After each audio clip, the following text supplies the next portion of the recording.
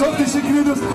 Valla bu soğuk havada burayı ya Cumhuriyet coşkusu ve Mustafa Kemal'in askerlerinden başka kimse dolduramazdı. Geldiğiniz için öncelikle çok teşekkür ediyoruz.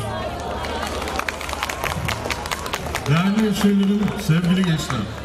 Bugün yine çok anlamlı bir günde sizlerle bir arada olmaktan mutluluk ve gurur duyuyoruz. Bu yıl Cumhuriyetimizin 98. yılını kutluyoruz. Büyük Önder Mustafa Kemal Atatürk, ey yükselen yeni nesil, istikbal sizsiniz. Cumhuriyeti biz kurduk, onu yükseltecek ve yüceltecek, yaşatacak sizsiniz. Sözleriyle büyük bir sorumluluk yüklemiştir.